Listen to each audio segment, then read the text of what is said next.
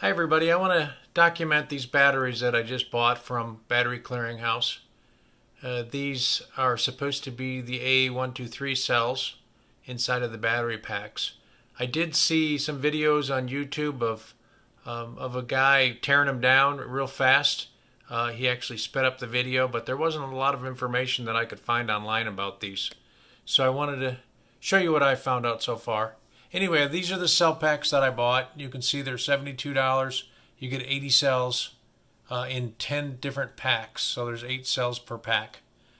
And uh, I tried to look into them a little bit. Come to find out they come from a server uh, called an EMC VNX 5200 server. And you can actually see the battery pack right here. Um, that's a little LED. This is a, uh, you'd think it's a positive, but it's not. It's a uh, a push tab to pull the battery, to, re retract the battery out of the holder. And uh, you look a little closer here, battery backup power, fault LCD. So anyway, that's the system that it comes out of. It's a, uh, a Dell array um, system.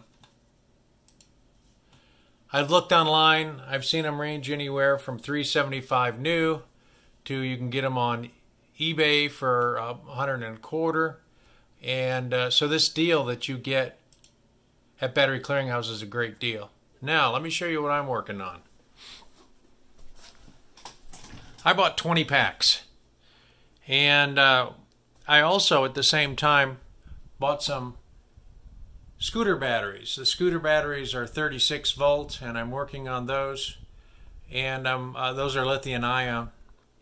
These are supposed to be uh, lithium iron phosphate batteries, so we're going to see. So I wanted to just document a little bit about the batteries themselves. Here is a, uh, a pack, and you can see some documentation from EMC. I'll try to get this into where you can stop the video if you need to. Some part information. When you plug them into the server rack, it looks like there's connection made here on the back end of it. On the opposite end of it, these are just push pins to release the battery.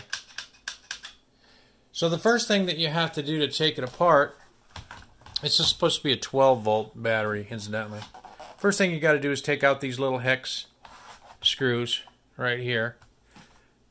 And I've already done that with this battery pack. So I'll just pull the top off to show you what's inside.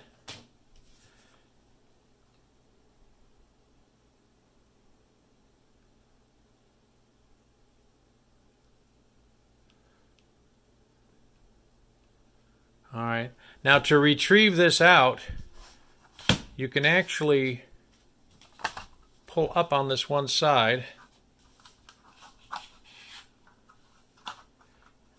and then slide the other end off. Hard to do with one hand. Slide the other end out. There we go. Now it's coming apart. And you can see the entire battery pack now and the BMS. I'll just slowly scan the BMS in case there's something you want to see there.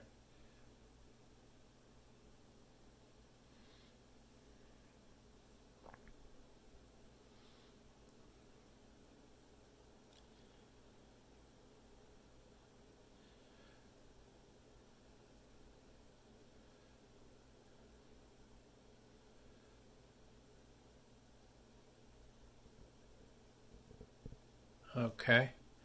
Now, getting back to the batteries for a moment, they're supposed to be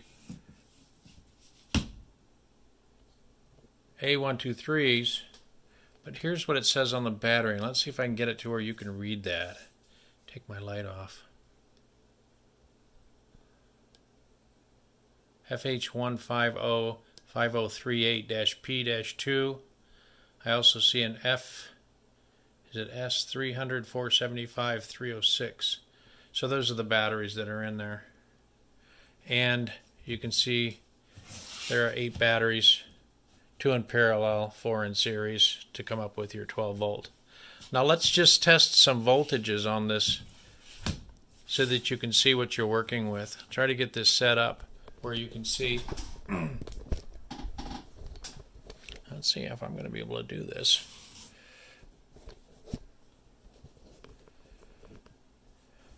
Okay, now I've got everything set up so maybe you can see this a little bit better. Sorry about that. I'm not used to filming and stuff, and I didn't see anything on YouTube, so I wanted to get this out there. You can see on the BMS board your different attachments, and we can check the voltages there on one set of batteries in parallel, two sets, three sets, four sets, etc. And you can see my meter up here, and before anyone says anything about my cheap meter, uh, I do have better ones, but I just prefer using this one because it sits on my stand pretty nice, and it's uh, pretty pretty accurate. That's a Harbor Freight. So anyway, let's check this first battery connection here. And you'll see that I've got 3.32.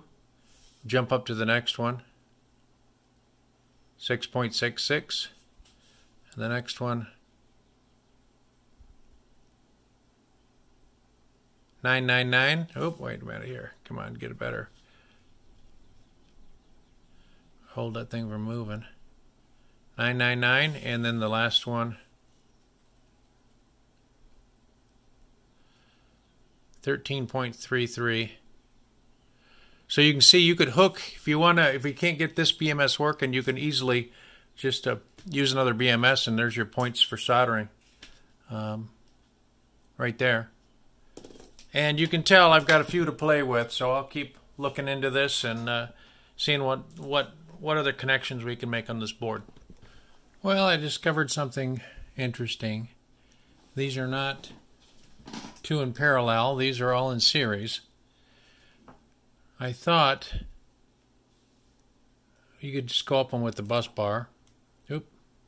But see, that's a negative charge there. So I've got my poles switched around. And there's just the opposite. So as I go down this,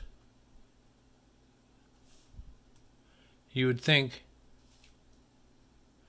those there are all in series but then they turn around the other side and come back. Now how I discovered this is if I jump this this way,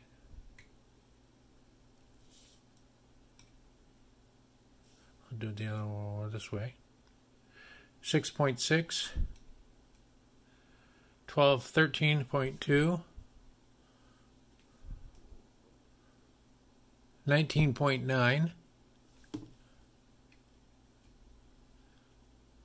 26.6 negative and positive. So this battery going down and back up this way. So it's actually 24 volts. So in order to use it, I could use 24 volts here. Or I would have to use one side or the other side. Or maybe I can unsolder these joints and just pull them right off the board. and then resolder them together with some wires or a bus bar or something. So I'll keep working on it. Well, I've made just a little bit of progress. Trying to figure out if I'm going to create 12 volt packs or 24 volt packs. So I saw the videos online where the guy is breaking them apart and harvesting the cells. So I broke it apart real quick made two 12 volt packs and then I broke the end off, of course, like he did. Um, what I discovered here, let me just put this on the uh, meter. Make sure the meter's in, in uh, screen here. Uh-oh, can't see it. There we go. Tell you what, I'll get it way up here. Now you can see it. All right. So what we're dealing with is a uh, negative and positive here at the ends. You can see 13.3 volts, so I got a 12 volt pack right there in the one end that broke off. Now on the other end that broke off, I had to make a little jumper in between the posts at the end. Uh, just a little wire jumper. And then I created again 13.3 volts so I've got a couple of 12 volt packs there that maybe I can parallel up. Um, kind of want to show you how I did this. I have an old oak desk and uh, a little concerned about you know sparks and shocks and different things like that. So here's one of the packs that I'm going to try to leave in a 24 volt version rather than the break it into 12s. And so what I'm going to attempt to do is just bust off this end right here.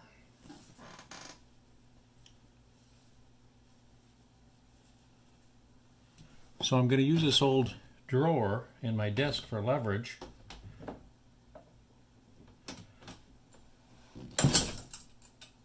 You see how quick that broke off. And I'm going to have. Oh, there we go. Carefully try to get that off of there. Well, that was a fun one for the kids at home. And now,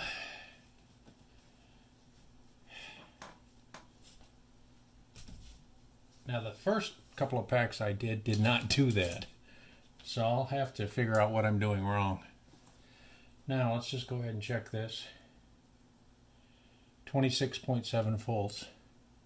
So now I could put those each into packs, grab my power here, easier to solder onto now instead of having to worry about soldering in between things on the board. And uh, then I can still put my BMS balance leads in here too. So that was some fun. Okay, you ready to try that again? I'm a little nervous to do this one. After that last one. Let's see, maybe I don't have my brake in the right. There we go.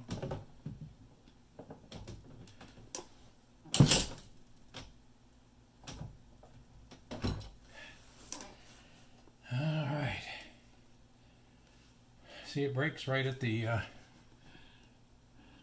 right where you need it to. All right, here we go.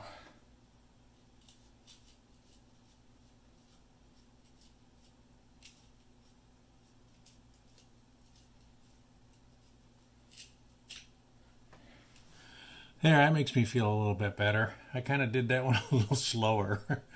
and uh, you can see how clean the edges are when they break off. Now let's check these connections here.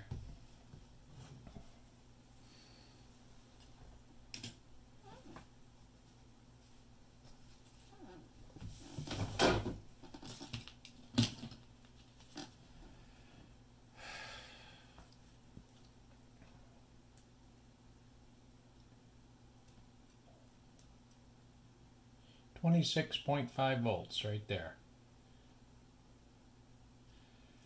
Right at that end.